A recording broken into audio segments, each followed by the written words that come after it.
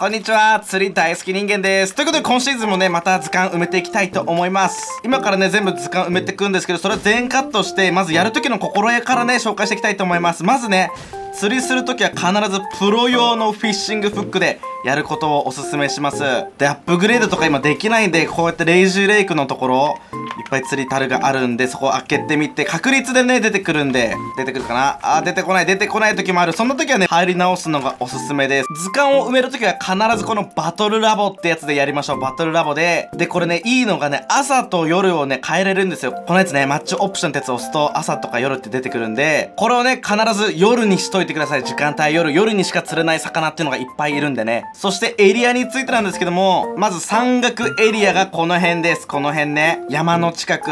で沼地がスラーピースワンプのなんか汚ねドブみてえなところが沼地です。なんか深くなったよね今シーズン。そして森林エリアがウィーピングウッズのこの一番範囲狭いかなウィーピングエリアですね。で沿岸エリアも大体ですねコーラルキャッスルとかいいのかな？まあ大体ほとんど周りとか沿岸だしね。といった感じで限られた魚が出てきます。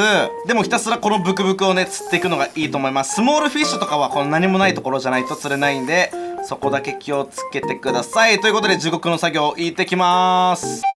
よしということで全部釣ることができました。見てください。すごくない？今シーズン新しいのはここら辺ですね。そしてマイダスプロッパーとか釣れるかなと思ったけど釣れませんでした。でもねベンデッタフロッパーはいためちゃくちゃ確率少ないけど。ということでちょっとね釣れてない魚の番号に飛んでってください。コメント欄で秒数指定しております。1番からどんどんいってくぜ。まずはオレンジフロッパーもこれはもう説明不要ですね。どこでも見つかります。グリーンフロッパーこちらも説明不要。どこでも見つかります。最後のフロッパーブルーフロッパーどこでも見つかります。4番シールドフィッシュどこでも見つかる釣れたら一番嬉しいやつ。5番ブラックストライプシールドフィッシュ。沿岸エリアです。これは沿岸エリアです。マップの端の方で釣ってください。6番グリーンシールドフィッシュ森林エリアです。グリーンという名の通りですね。7番ピンクシールドフィッシュどこでも見つかります。プロ用のねフィッシングツールが必要です。8番ライトブルーシールドフィッシュどこでも見つかります。9番スラープフィッシュブルースラープフィッシュどこでも見つかります。10番イエロースラープフィッシュ沼地エリアですね。左下に行ってください。い。11番パープルスラープフィッシュ山岳エリアで見つかります。12番ブラックスラープフィッシュ夜の沿岸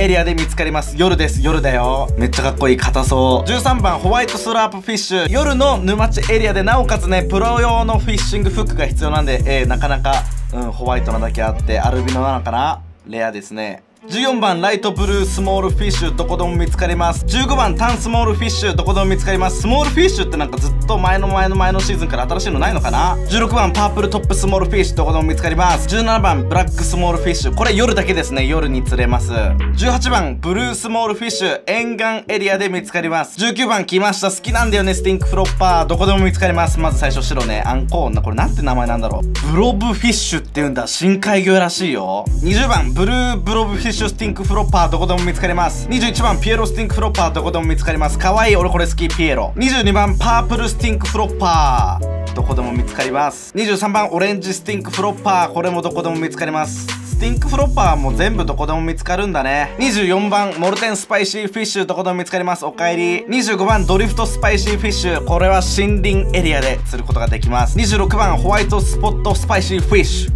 点々白の点々ですね山岳エリアで見つけることができます27番サザンスパイシーフィッシュこれは沼地ですね沼地エリアで釣れます28番スカイブルースパイシーフィッシュ沿岸エリアで釣れます。可愛い色。29番、スラープジェリーフィッシュ。どこでも見つかります。30番、ピーリージェリーフィッシュ。これ山岳エリアでなおかつプロ用の釣り竿が必要です。バナナの味すんだろうな。31番パープルジェリーフィッシュ。こちら沿岸エリアですね。沿岸エリア外側で釣ってください。32番ダークバンガードジェリーフィッシュ。こちら夜限定です。夜限定で釣ることができます。なかなかレアいねこれ。33番ラブリーピンクジェリーフィッシュ。沼地エリアですね。左下のドブで釣ってください。ドブで暮らしてんのにこんなに綺麗な色なんだ。34番ドリフトホップフロッパー。ホップフロッパーまたまた戻ってきました。どこでも見つかります。35番アトランティックホップフロッパー。これ山岳エリアでなおかつプロ用釣り竿を使ってください。36番チャムホップフロッパー。こちら沿岸エリアで見つけることができます。37番チンフック。チン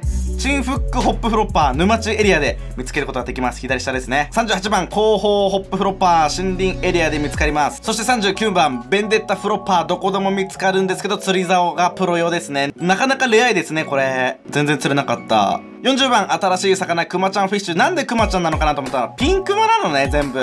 理解したぜ。そして41番ブルークマちゃんフィッシュ。ブルーなんかアメリカみたいなクマちゃんいるもんね。それなのかな？どこでも見つかります。そして42番グリーンクマちゃんフィッシュ。まあいるよねこういうクマ確かにいるね。どこでも見つかります。43番オレンジクマちゃんフィッシュ。初めて見た。このスキンないよね。オレンジのピンクマオレクマ？オレクマないよね。こちらどれでも見つかります。そして最後44番レッドクマちゃんフィッシュ。もう見た目はタコ。これも見たことないな。新しいスキンで来るのかな？赤クマ。デッドプール？いや違うよね。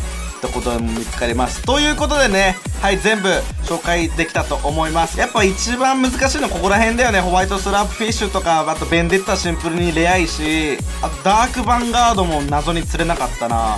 あとアトランティックホップフロッパープロ用で山岳。ここら辺かな。この中で一番好きなのはこれかな俺。見た目可愛い。いやでもこれもかっこいい。いやこれだな。ということで、図鑑埋めお疲れ様でした。NPC の方の動画もね、あげてるんで、よかったら見てみてください。というか、熱心な人はもう見たかな？図鑑埋めお疲れ様でした。またね、なんか新しい魚が来たら動画にしたいと思います。チャンネル登録よろしくお願いします。頑張ってください。失礼します。